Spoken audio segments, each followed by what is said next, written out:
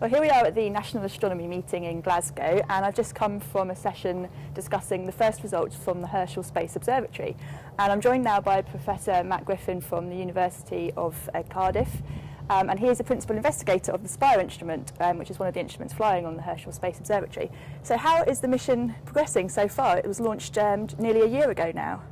That's right. Yeah, it's progressing extremely well. It was launched in a, a flawless launch from an Ariane 5 in uh, French Guiana on May 14th last year. And the first six months of the mission were devoted to checking everything out and doing test observations of all kinds and making sure that all of the instruments and all the spacecraft systems worked well. And as with any uh, complicated system, there were a few teething troubles, but they're all now overcome. All of the three instruments are working perfectly. The telescope is in uh, perfect focus and alignment and uh, some trial science observations have been done, and we heard about some results today. And routine observations are now progressing, and a lot of the key programs that are designed to um, carry out the core science of Herschel are now well underway. And so you're the PI for the Spire instrument. Um, what in particular will that be looking at? well, Spire covers the longer wavelength part of the Herschel range from wavelengths uh, between 200 microns and about 700 microns. Most of that region is uh, unobservable from the ground because of the atmosphere. And our instrument has a camera which takes pictures in three submillimeter colors, if you will. And it also has a spectrometer to look at the signatures of atoms and molecules in interstellar space. And its main scientific theme is to look at star formation, which can be done locally in our own galaxy where we can see things close up, um, but also we can look at star formation occurring in bursts, star formation writ large, which is the process by which galaxies like ours were formed. So we look at that in very distant objects and we can build up a picture of the star formation history of the universe where we can see the big picture by looking far away and therefore into the past to see how galaxies formed and evolved. And we can see the details in our own galaxy and, for instance, learn about how stars like the Sun might have formed in the past. And will it be working sort of um, in unison with the other instruments, or will it will it be producing results by itself? Uh, very much in unison with the other instruments. That's one of the design features of Herschel that the three instruments have been very carefully um, uh, designed to be complementary to each other.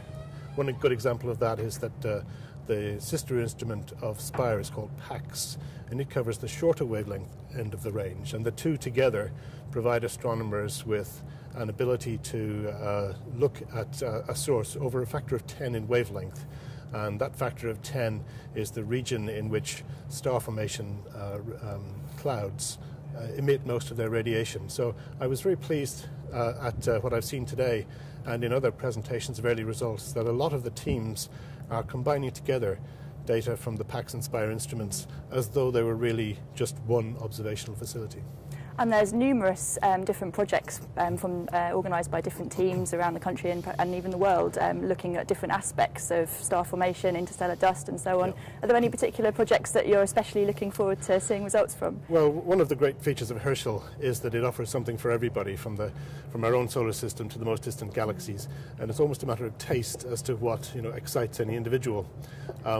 Uh, some people are particularly interested and excited by what uh, Herschel will tell us about distant galaxies.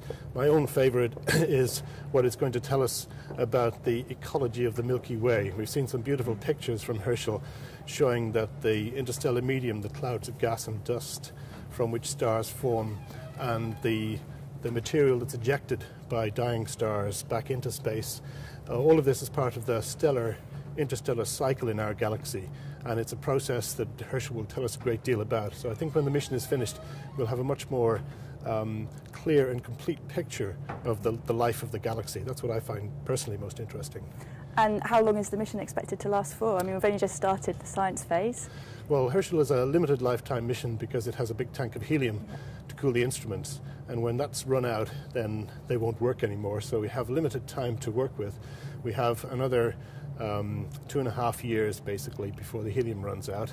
And that's one of the reasons why it was very important to get everything working as mm. quickly and as effectively as possible because uh, you know, every day that uh, one doesn't do science is a day wasted. It's not a mission that will, will carry on past its uh, design lifetime. Well, it sounds like we've got an exciting couple of years uh, ahead and no doubt beyond as the results continue to be analysed. We certainly have. Thanks so much for your time. Pleasure.